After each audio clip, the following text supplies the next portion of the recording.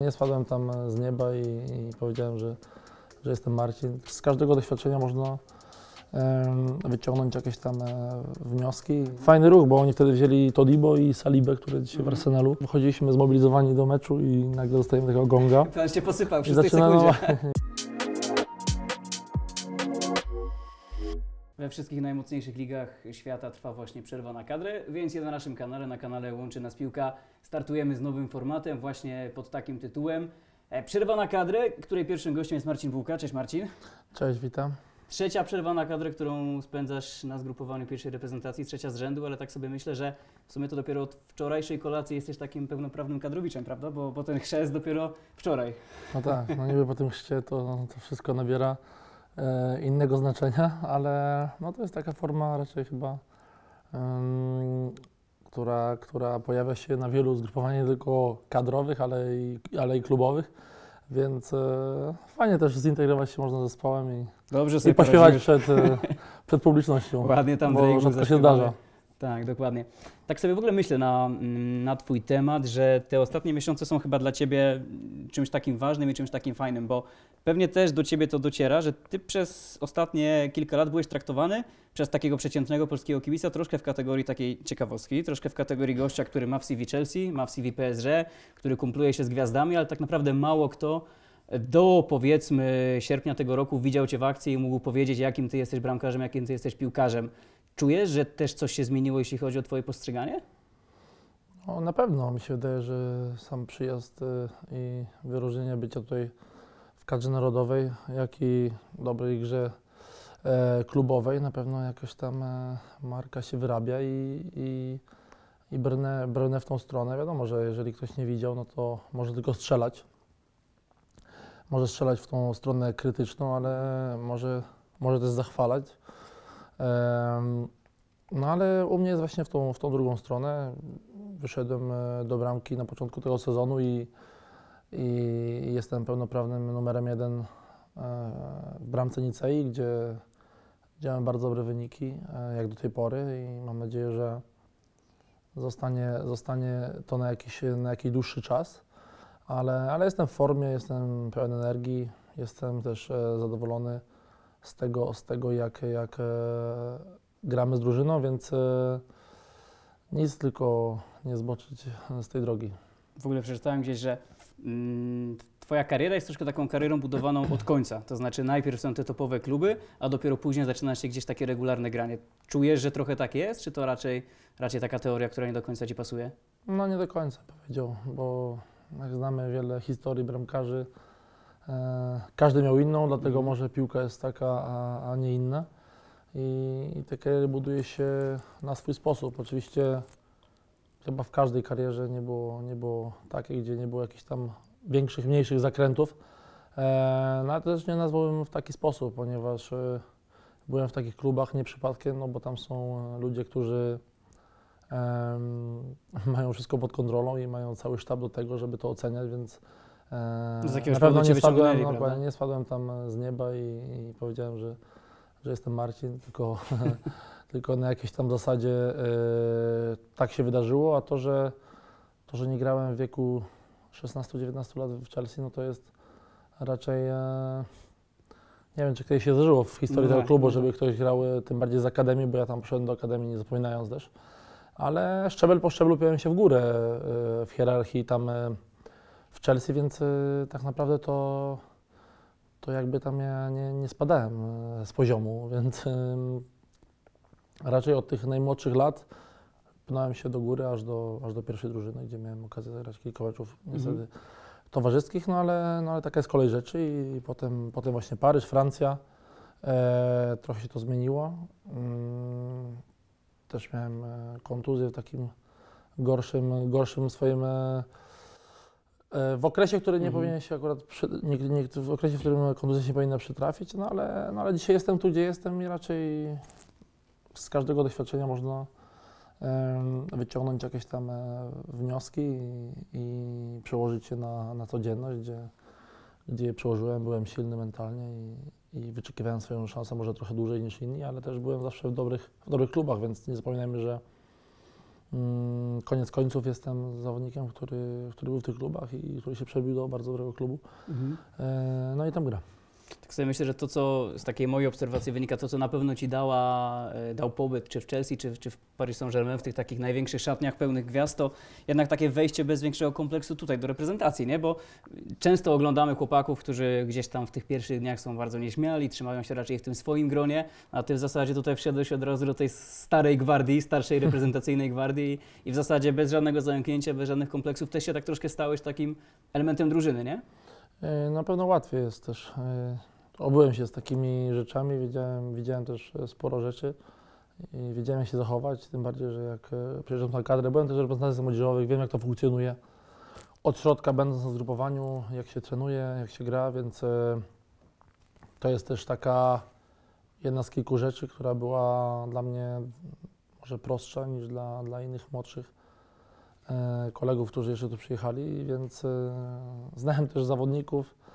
E, Pewnie większość z nich oni mnie znali, więc e, może nie do końca personalnie, ale, no ale dzisiaj, dzisiaj już e, nawiązujemy wspólny, wspólny język i, i, i raczej tak już, tak już zostanie. Nie, no tam rzeczywiście widać, że jest, jest dobry flow między tobą a tymi, a tymi chłopakami często starszymi zdecydowanie. A pamiętasz te swoje wejścia do szatni właśnie Chelsea i PSG?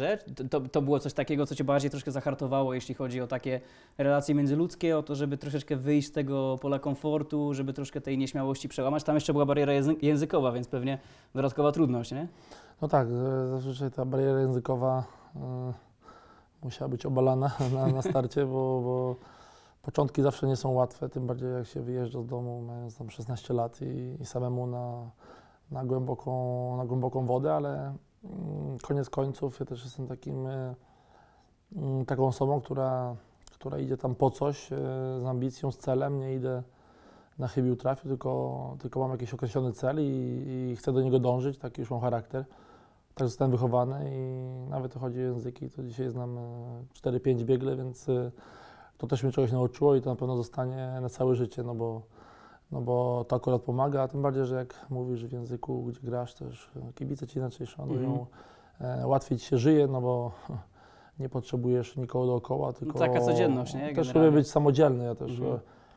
mm, często byłem samodzielny, więc e, akurat ta droga była jaka była i, i trwa do teraz, no bo to jest też e, taki mój e, początkowy sezon jako numer jeden w jakiejś silnej lidze. Mhm, tam w trakcie lockdownu, tak? W trakcie pandemii mocno przycisnąłeś z tym francuskim, nie? I to był też taki Tak. okres, który dla wielu był zatrzymaniem, a u Ciebie jednak też pod takimi innymi troszkę kwestiami był momentem na rozwój. Tak, bo ja tak naprawdę zdałem sobie sprawę, że jeżeli teraz jesteśmy zamknięci w domu i, i mogę coś zrobić, co mi pomoże może na przyszłość, no to było jedno z wielu akurat to i chyba raczej takie główne, gdzie, Mhm. Gdzie mogłem e, mm, ulepszyć swoje, swoje umiejętności w ładaniu tego języka. No też coś E, takiego, na co pewnie kiedy indziej by nie było czasu. Tak, prostu, tak. nie? I akurat wziąłem kogoś, kto mi pomagał w, w nauce tego języka i po dwóch miesiącach już zacząłem mówić też. Nie, nie wstydziłem się mówić, e, zawsze próbowałem, e, jestem bardziej e, ekstrawertykiem, więc Mhm. e, łatwiej też mi nawiązywać kontakt i, i jakoś próbować swoich sił, no ale koniec końców, jak to się mówi, na błędach się uczysz. I, I dzisiaj ja wychodzę tą obronną ręką, no bo mówię, mówię w nim biegle. Mhm. Mówimy troszkę o tej sta- starszyźnie kadrowej, o tym, czego się od kogo można uczyć. Też mówimy o tym, że ty z wieloma wielkimi nazwiskami udzieliłeś szatnie, to przy jednym z takich wielkich nazwisk się możemy zatrzymać, bo w trakcie tego jesiennego zgrupowania przewijała się gdzieś ta taka narracja i historia twoja z Grosikiem dotycząca rzutów karnych, tak? Potem to wszystko gdzieś miało swoją fajną puentę i w Ekstraklasie, i w Ligą. Czyli co, tam troszkę cię Grosiu przeszkolił z tych rzutów karnych? Tak. I ty jego, tak? Właśnie, Częściowo. Właśnie, ja, ja częściowo jego, on częściowo mnie. E, I koniec końców wyszliśmy na tym oboje na plus, no bo ja zatrzymałem dwa karne na dwa możliwe, a on Mhm. chyba strzelił wszystkie. E, I też widziałem e, niestety, niestety dla bramkarza, gdzie, gdzie dostał panenkę, którą próbował na mnie wiele razy, kilka razy złapałem, kilka razy strzelił, no ale wiadomo. E, ta historia trwa do dziś, więc e, nie zatrzymujemy się. No i... Czy dzisiaj wiedziałem, że ze Świdrem była jakaś dogryweczka, tak? Tak, tak, tak. Akurat on chciał się dogrywać, bo, bo to ja obroniłem, no ale, ale z Grosikiem akurat tak zaczęliśmy, no i to też tak śmieszne, że akurat e, potem historia tych karnych, Mhm. jego i moja wyszła na, na to Na świat. I też na ligowe boiska, tak się przykłada. Tak. Mówimy o tych dużych nazwiskach cały czas i w sumie no to jak się patrzy na ostatnie wyniki Nicei, na strzelców bramek dla, dla rywali, no to chyba tylko jedno takie duże nazwisko było w stanie ci zrobić krzywdę, tak? Bo od sierpnia bodajże od trzeciej kolejki, tak? Tylko Mbappé. Tak, y, od sierpnia trzeciej kolejki tylko Kilian, no, udało mu się strzelić dwie bramki. Y, No nic, no, Kilian jest mocny. Darujesz Znam mu, go tak? Bo i tak wygraliście. Znam go dobrze, rozmawialiśmy też po meczu. y, No nic, taki napastnik zawsze będzie jakimś tym postrachem dla obrony i jest bramkostrzelnym napastnikiem. Każdy o tym wie. Mhm. No ale, ale było kilka meczów, gdzie, gdzie też mogliśmy puścić bramki, bo gramy z dobrymi zespołami w lidze. No ale jak do tej pory i mam nadzieję, że tak zostanie, jemu się udało i, raczej nie myślę o tym, żeby stracić e, kolejne. Bo w ogóle jak tak sobie spojrzałem na te gole, które traciliście, to były pierwsze dwie kolejki i potem właśnie mecz z PSG. Pierwsza kolejka z Lille, gol w 94, prawda? Tak, no to taka niefortunna, bo Mhm. akurat e, to był mój debiut wtedy w tym sezonie. Nasz pierwszy mecz, e, dobre spotkanie, mogliśmy strzelić na 2-0, a bardzo dobrze broniłem też w tym meczu. E, Fajnie mi się grało i w końcu wtedy dostałem taką bramkę, gdzie po prostu nie zasłużyłem. E, No i co, ale no to chyba to do siebie mają pierwsze te mecze, gdzie Mhm. gubi się punkty, gdzie bada się przeciwnika, każdy wraca po przygotowaniu do sezonu. Też może jest dużo zmian. Nowy trener akurat u nas. No tak. Uczyliśmy się też nowego stylu i, i może to nie było takie do, dopracowane. E, A tym bardziej może przy tych fragmentach, nie wiem, nie wiem jak to, to wygląda, no ale to już jest za nami, to jest już pierwsza kolejka, dzisiaj mamy już 12 chyba, Mhm. e, czy 13 kolejkę i, i już musimy myśleć o, o kolejnym meczu, nie? Mhm, a jeszcze będąc przy tym początku sezonu właśnie, bo to jest z kolei ta druga stracona bramka, druga kolejka i to był mecz, w którym graliście bez tej takiej swojej pary żelaznych środkowych obrońców, nie? bo to też pokazuje, że tam wtedy nie było Jeana Clera Todibo.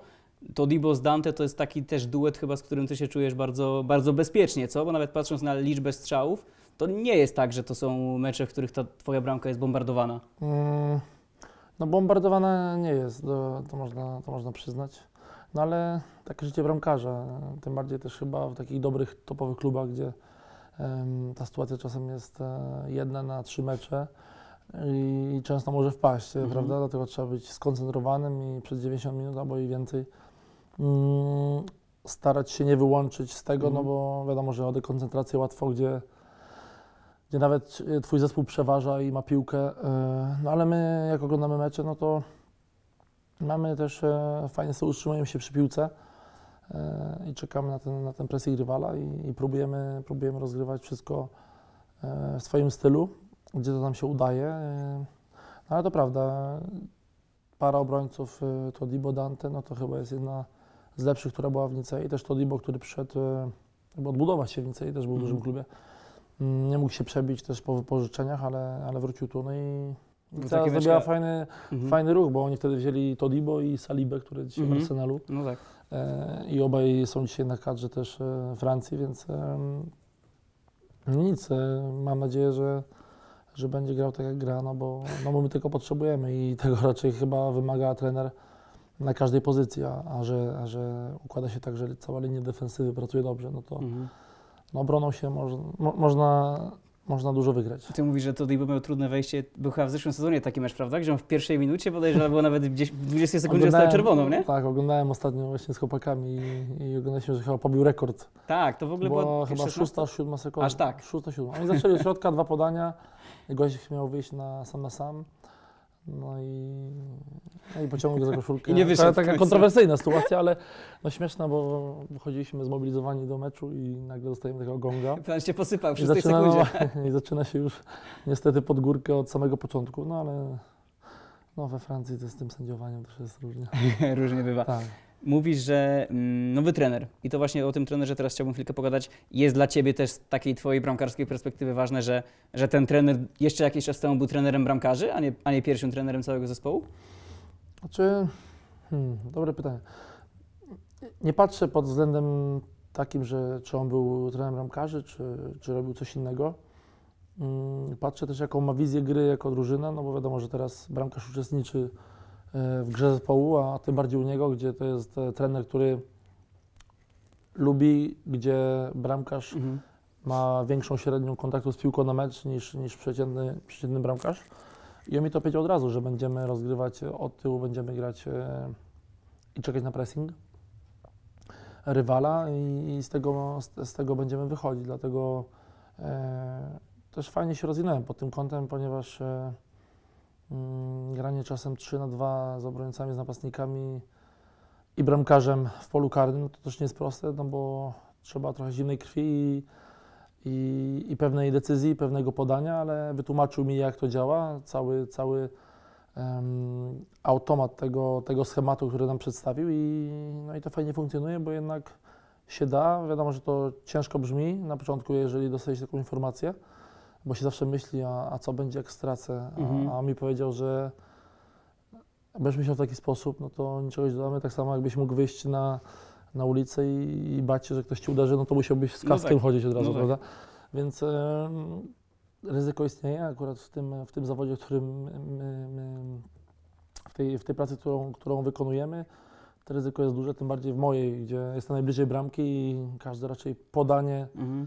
Błędne przy takim rozgrywaniu, rozgrywaniu e, piłki. Może kosztować golem, ale ja nie myślę w takich e, kryteriach, tylko myślę bardziej jak pomóc drużynie, żeby zbudować akcję i, i przełamać tą linię pressingu, gdzie, gdzie potem możemy mieć z tego duże korzyści. Czy ty większy widzisz problem tutaj mentalny niż techniczno-piłkarski? Bardziej dla bramkarzy, nawet niekoniecznie dla ciebie, ale dla bramkarzy większe zagrożenia płyną nie tyle z jakichś tam niedostatków czy braków technicznych, tylko właśnie z takiego, z takiego przestawienia się na myślenie, że kurczę, jestem tą ostatnią instancją i, i jak nie ja, no to już nikt? Nie, ja dla mnie chyba, jeżeli mamy piłkę, to dla mnie czuję się też jako zawodnik z pola, Mhm. gdzie ja powinienem być używany i, i powinienem dostawać piłkę, kiedy, kiedy mój obrońca tego potrzebuje.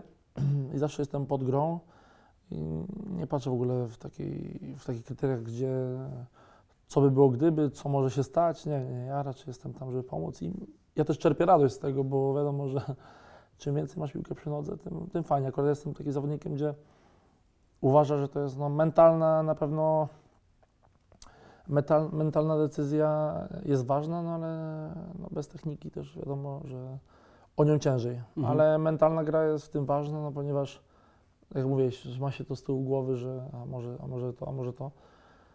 Nie ma raczej chyba co rozmyśleć, no też na treningu my jakieś tam automatyzmy e, e, tworzymy i, no i potem to przekładamy na mecz, prawda? Cały tydzień to, to robimy, przygotowujemy się do danego rywala, gdzie, gdzie potem mamy to przelać na, na, na boisko. Mhm. Pewność siebie to jest chyba coś takiego, co akurat w momencie, kiedy przyjeżdżasz na kadrę po siedmiu z rzędu czystych kątach, musi ci towarzyszyć, nie? Bo, bo to jest taka seria, która no, nie zdarza się często tak naprawdę. Siedem razy z rzędu zagrać na zero z tyłu, to, to jest coś pewnie, o czym wielu bramkarzy marzy, albo nawet inaczej lepiej. Y, Lepiej o czymś takim nie myśleć, nie wyprzedzać faktów, tylko po prostu budować to sobie na bieżąco, nie? Jasne, jasne. Ja też y, jak ja wychodzę na, na boisko, to zawsze dla mnie ten każdy kolejny weekend, y, gdzie gramy w weekend, no to jest jakaś okazja do, do e, pomocy zespołowi, ale i pomocy samemu sobie, bo wiadomo, że moja praca to jest e, pomóc drużynie jakoś tam ofensywnie, właśnie jak rozmawialiśmy z piłką przy nodze, no ale ta główna praca jest e, bronić dostępu do bramki i, i zapobiec e, utraty gola. Ale jeżeli ta seria trwa, ja nie patrzę, czy ta seria jest taka, a nie inna. Dla mnie każdy kolejny mecz to jest chyba taka szansa, żeby zachować czyste konto i dobrze wykonać swoją, swoją robotę.